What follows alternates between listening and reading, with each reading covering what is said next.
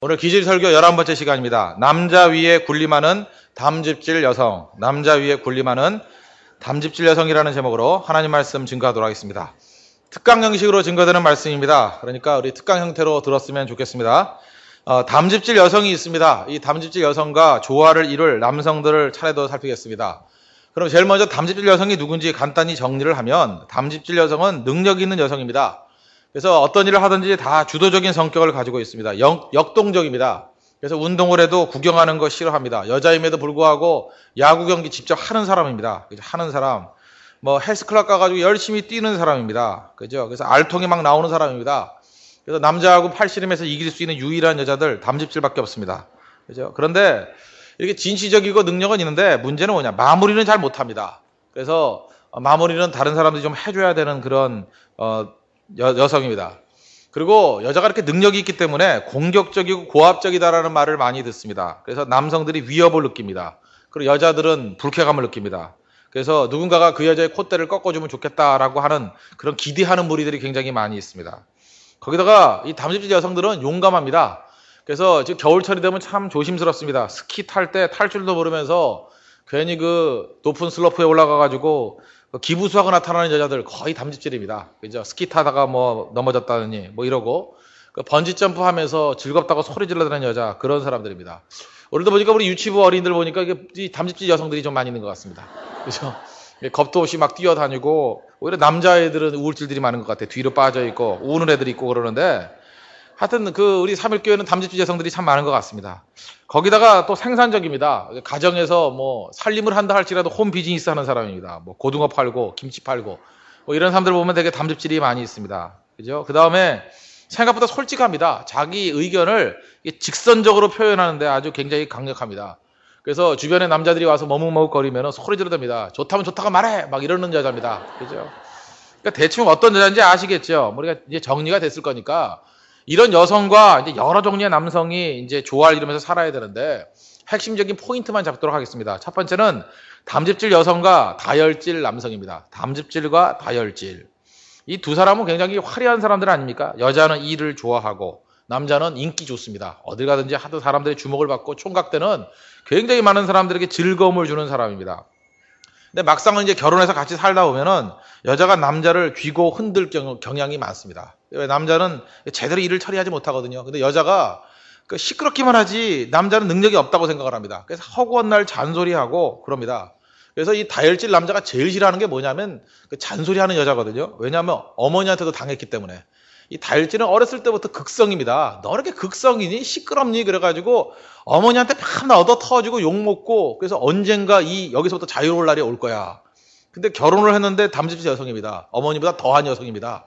논리적으로 계속 얘기하고 거기다 힘도 세니까 뭐 꼼짝도 못하고 정말 살기 힘든 상황이 돼버립니다. 그래서 어, 남편을 생각할 때 잔소리하는 엄마 같이 보이고 또 그 남편을 바라볼 때 철없는 미숙아 뭐 이렇게 보이는 아주 그런 모습이 될 수가 있다는 것입니다.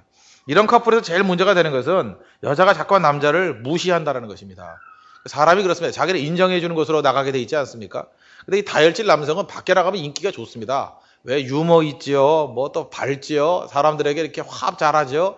그러니까 인기가 있는데 이상하게도 집에만 들어오면 아내는 들들들 볶고 자꾸만 약점을 얘기하고 그럽니다. 그래서 남자는 생각할 때 자기가 결혼을 잘못했다 이렇게 생각을 합니다. 나를 좋아하고 나를 인정해주는 그렇게 많은 사람들이 있는데 이 여자만은 나를 인정해주지 않는다. 그렇게 의식할 경우가 아주 크다라는 것입니다. 어, 다혈질 남성의 특징은 빠지기 쉽다는 거 아시죠? 뭐 예를 들어서 어, 잠도 안 자고 비디오 봅니다. 한번 보기 시작하면 다 뭐 10개씩 보고 막 이럽니다. 그죠? 뭐 16부작 이, 이틀이면 끝낸다 뭐 이런 이럽니다. 근데 담즙질 여성 어떤지 아십니까? 옆에 일찍 잡니다. 왜 새벽 기도 가야 되기 때문에. 그러면서 막 화를 냅니다. 뭐 새벽 기도 안 가고 밤새도록 비디오나 보고 있고 이런 남자가 왜 사느냐고. 그러니까 이 담즙질 여성은 어떤 목표를 정해놓으면은 끝까지 해내고야 맙니다. 그래서 기질적인 요소도 있는데 특별히 새벽 기도에 그러면 개근하는 사람 가운데 담즙질이 제일 많습니다. 시작하면 뿌리를 뽑습니다. 그런데 다혈질은 어떠느냐? 기분 내키는 대로 합니다. 기분 내키는 대로 뭐 즐거운 일 있으면 그냥 그 자기의 시간을 보내다가 나중에 그 엉터리 같은 일을 벌할 때가 많이 있습니다. 그 다음에 다혈질은 이렇게 뭐 자랑하는 걸 좋아합니다. 근데 담즙질 여성이 바라볼 때 쓸데없는 거 자랑합니다. 뭐 이번에 게임을 했는데 뭐 만점을 넘었다느니 그게 뭐 대단한 겁니까? 그 다음에 뭐 3일교회 이번에 웹사이트 들어갈 때 오늘 만 번째 내가 들어갔다는 그 무슨 의미가 있어요? 그러니까 여자가 볼 때 한심해 보이는 거죠. 왜 그런 거에 흥분하고 그런 걸 저렇게 보람 느껴 하느냐. 담지 여성은 이게 열매 쪽 생산적인 것에 관심이 많습니다. 이런 관계니까 계속해서 티컥태컥 하는 이유를 아시겠죠. 담지 여성은 모든 것이 자기 손으로 이루어지는 것을 보고 싶, 보고 싶어 합니다. 그러니까 남자를 보면 제대로 잘 못하니까 아무래도 시간이 지남에 따라서 자기가 직접 하는 경향이 많습니다. 그죠? 예를 들어서 뭐 공과금도 자기가 내고 뭐 대가를 치르고 다 혼자 다 해버립니다. 근데 이게 좋지 않은 태도라는 거예요. 오히려 문제가 되더라도 오히려 가상금을 물더라도 손해를 보더라도 이 다혈질 남자가 처리할 때까지 놔두는 게 좋습니다. 그래야 그 남자가 성장할 수 있고 조화를 이룰 수 있다는 것입니다.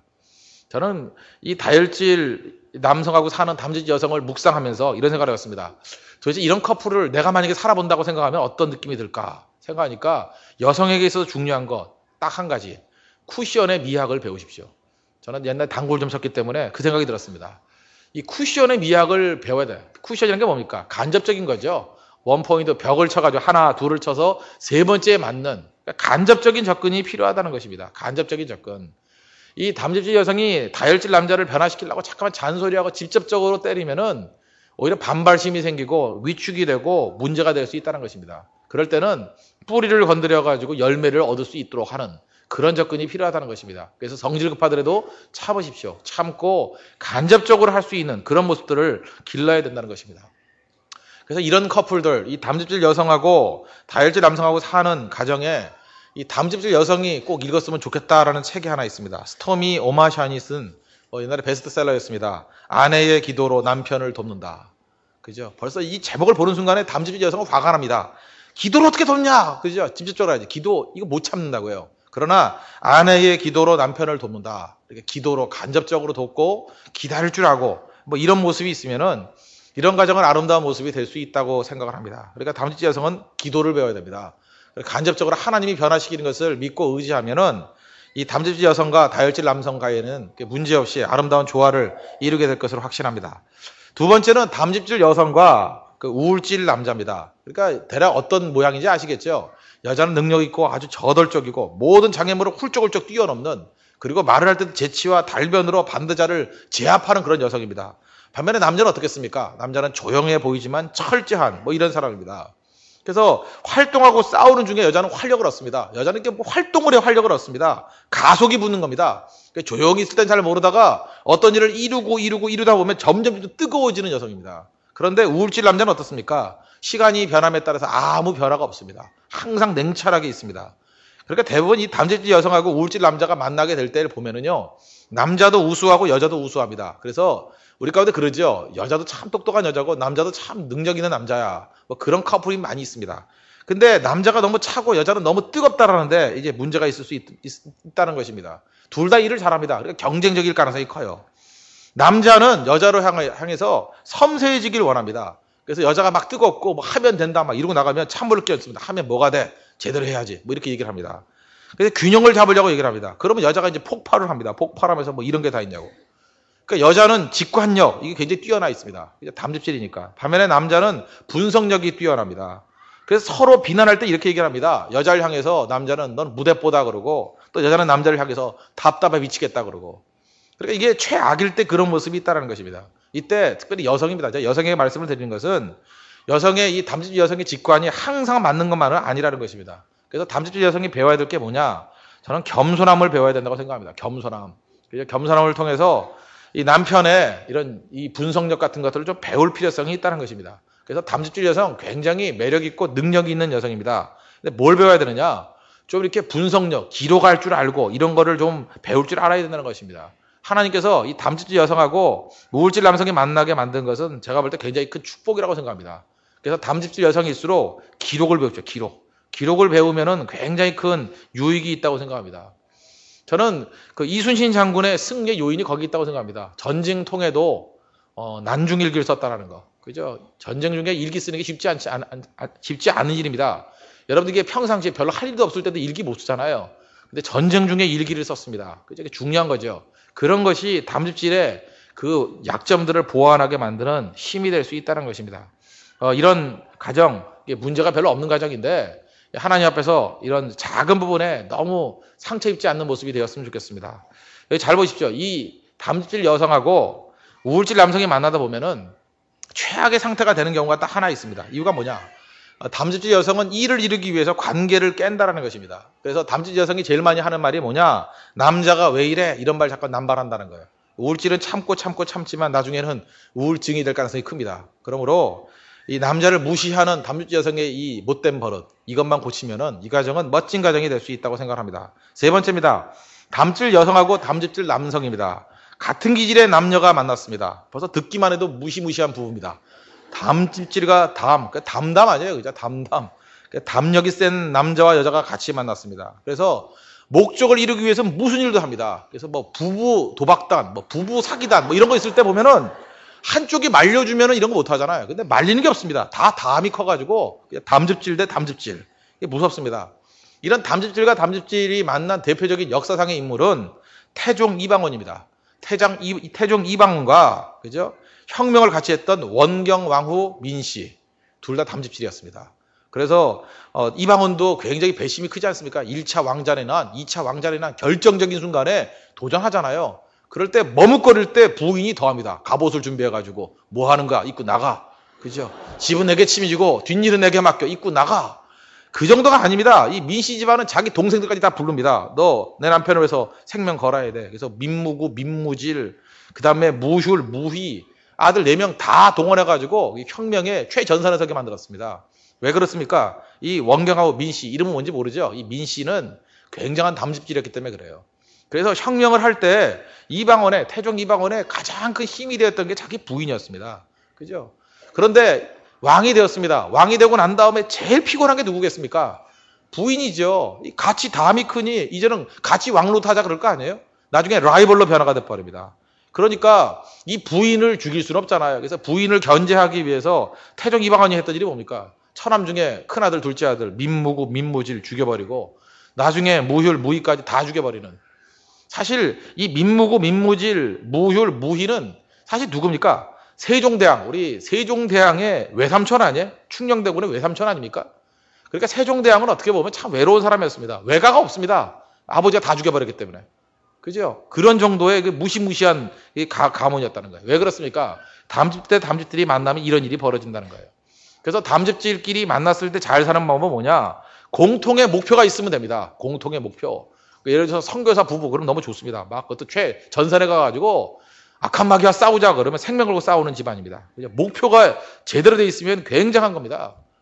이 담즙질 여성의 대표적인 건 뭐냐면 스피드광입니다. 남자는 뭐 등산광. 그래서 이 담즙질끼리는 뭐 사고가 많습니다. 남자는 뭐 떨어져 죽고 여자는 뭐 부상 당해 죽고 뭐 이런 게 되게 많습니다. 그러니까 이렇게 생각합니다. 담즙질 대 담즙질이 만났다 그러면 G.I. 제인 그 영화 보셨어요? 어, 그 다음에 람보 둘이 부부라고 생각해 보시오. 그죠? 그러면 딱 좋아요. G.I. 제인과 람보가 사는 거. 우리 교회도 담즙질과 담즙질이 만나서 결혼한 부부들이 있습니다. 그럴 때 제가 항상 쓰는 방법이 뭐냐 하면 서로 진을 달리합니다. 같은 진에 있으면은 안 좋을 수 있어요. 그래서 서로 한 사람은 일진, 한 사람은 오진 이렇게 떨어져 있습니다. 그리고 간사시킵니다. 결혼했는데도 불구하고 간사시켜요. 그럼 담집질이기 때문에 너무 잘합니다. 너무 잘해요. 그리고 그이 사람들이 다른 진에 있을 때 각자 뛰다가 가정으로 돌아와가지고 각각 다른 필드에서 승전보를 가지고 돌아오면 집이 화목해요. 그죠? 당신이 오늘 승전보를 얘기해봐. 나는 오늘 뭐 적장 몇 명을 베고 뭐 이렇게 딱 나오면은 그랬어. 나는 적장 일곱 명을 베고 뭐 이런 식이에요. 그래서 서로 간에 이렇게 승전보를 안고 돌아오면 굉장한 능력이 될 수 있다는 것입니다. 선교 갔을 때도 마찬가지입니다. 다른 팀에 들어가가지고 저녁 때 만나가지고 승전보를 나눌 때 당신은 어땠어? 나는 오늘 대승리를 거뒀어. 당신은 어땠어? 오늘 완전 마귀를 선멸하고 왔지. 뭐 이런 식의 그런 가정이 될 때 제일 아름다울 수 있다는 것입니다. 그러니까 떨어져야만 행복할 수 있는 가정이니 얼마나 불행한 가정이겠습니까?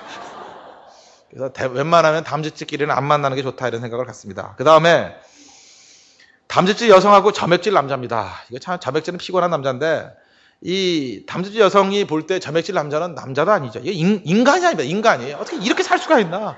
밤에 텔레비전 리모컨만 붙들고 살고 그러니까 담즙질은 속 터지는 겁니다. 근데 이게 왜 결혼했는지 다지는 모르겠어요. 왜냐하면 담즙질은요 자기가 독하기 때문에 어느 순간 은혜를 받아가지고 난 착한 남자하고 결혼해야지 이렇게 마음 먹으면 점액질하고 결혼한 거거든요.